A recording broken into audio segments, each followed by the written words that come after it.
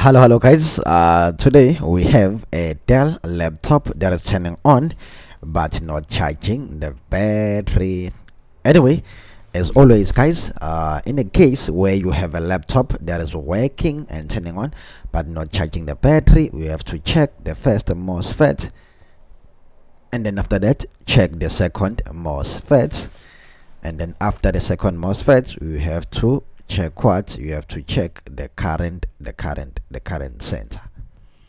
Anyway this is a sequence. The first MOSFET one two is the second MOSFET and number three is the current sensor.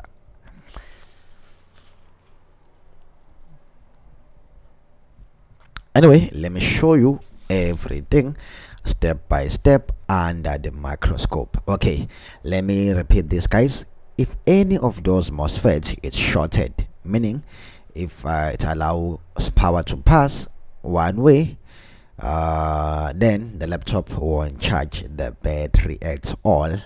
And sometimes it won't even turn on. But in this case it's turning on. It's just that it's not charging what it's not charging the battery. Anyway we're gonna start with the first MOSFET that's how you check for a short while your multimeter is on the continuity mode. You have to be sure you have to make sure that your multimeter is on the continuity mode. And let me repeat this again. We have to check the first MOSFET. After the second MOSFET we have to check the second MOSFET. And if one of those if one of these MOSFETs is shorted I tell you the laptop won't be able to charge the battery. In this case it's turning on working fine but not charging the battery. The client brought a brand new battery but unfortunately the laptop wasn't charging the new battery. So to check for a short we have to touch on both sides. If it's beeping that will mean the MOSFET is shorted because it's going to be allowing power to pass one way. But in this case none of these MOSFETs are, are shorted. So it means we are safe. There is no problem with the MOSFET. None of these are shorted. Okay. And R05, that's your current sensor. I even checked for shorts, even though there was no need since the port was turning on. But just to make sure you will never know, I had to check for a short. Anyway, guys as always you have to think you have to relax relax your brains and then come up with another method. Anyway i'm done with checking the dc in mosfet. Dc in mosfet are very very important.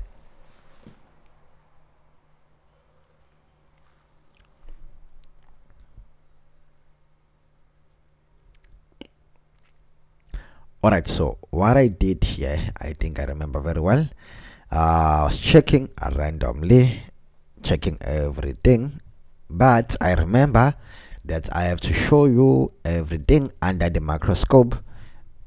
So I had to show you guys what exactly I was checking. I was checking for a short, you know, like random shots, around, around, around. And this R005 is the current sensor for what? For a battery. So I had to check for a short so you put one prop to ground and put the other one on top of the current sensor. And unfortunately there was no short on the on what? On the oh wait there was a short i made a mistake. There was a short on the current sensor. That current sensor there was shorted to ground when compared to what? To ground. So i remember very well i had to look for a short and guys i've done some videos where i showed people how to detect a short without any help of the microscope or the DC bench. And here I was able to spot a shorted capacitor again without help of what? Of a microscope or a DC bench power supply. Tell me about that capacitor right there that ceramic capacitor right there. You can see it that ceramic capacitor right there guys it's problematic. It's shorted you can see it. Definitely is the one causing what? Causing the problem.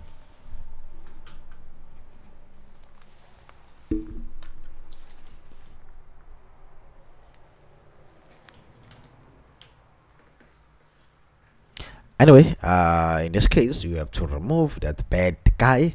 And then again you check on the current sensor if you still have a short or Oh, or not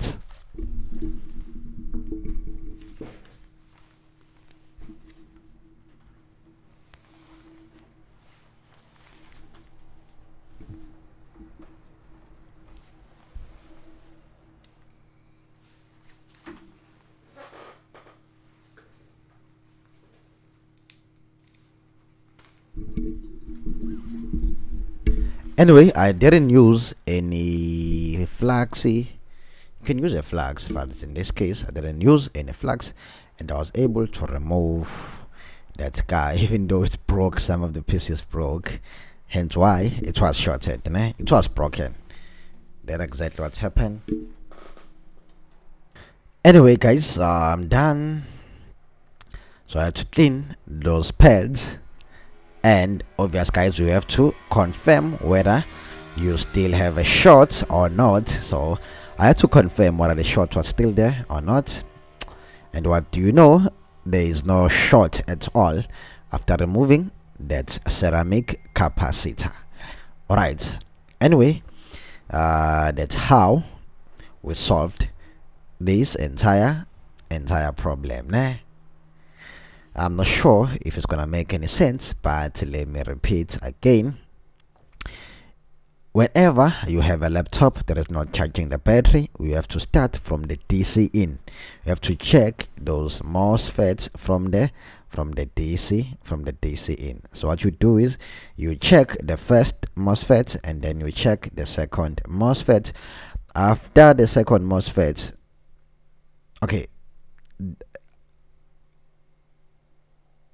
Alright guys that's what about that uh let me repeat again. I'm gonna repeat again. I have energy so i'm gonna repeat again. I don't mind repeating over and over and over and over again. So i'm gonna repeat again. Okay let me show you Alright, so whenever you are facing with a laptop that is not charging the battery, we have to check the first MOSFET, MOSFET number one, whether it's shorted or not. And the only way to do that, we have to take a multimeter, put it into continuity mode or beeping mode, and you touch both sides, both sides left and right, and you listen to your multimeter whether there is a continuity or not. If the MOSFET is working, there won't be any continuity. But if the MOSFET it's dead if it's dead then definitely you will have a continuity because it will be allowing power to pass one way even though it's not being told to do so. Because it means it will be shorted. Obvious not shorted to ground but just shorted. Okay? So you do the same thing with MOSFET number two. You check for any uh, continuity or short on that MOSFET.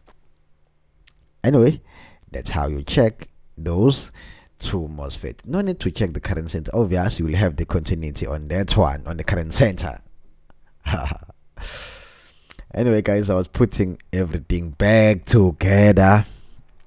And let me repeat again, our problem was the what? Was the current, was the current sensor was there on the current sensor. The problem was not the current sensor, obvious, because the current sensor is just a fuse, okay? I mean, it's just a resistor. All right, a very low resistor with a lower resistance. It doesn't resist that much.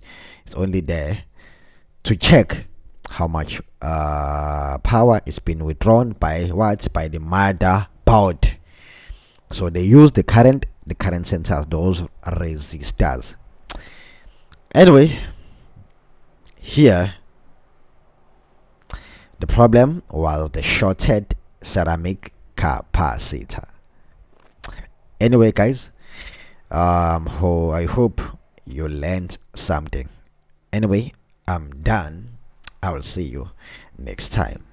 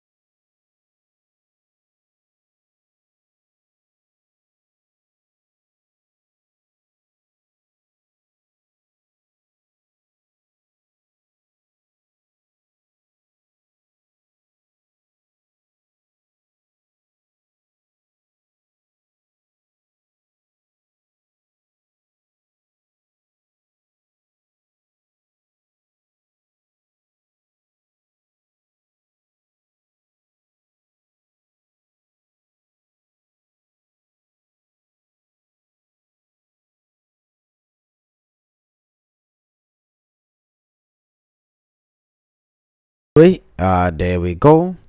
When you click on the battery icon you can see 11 percent and the battery is charging. Anyway i'm so happy guys.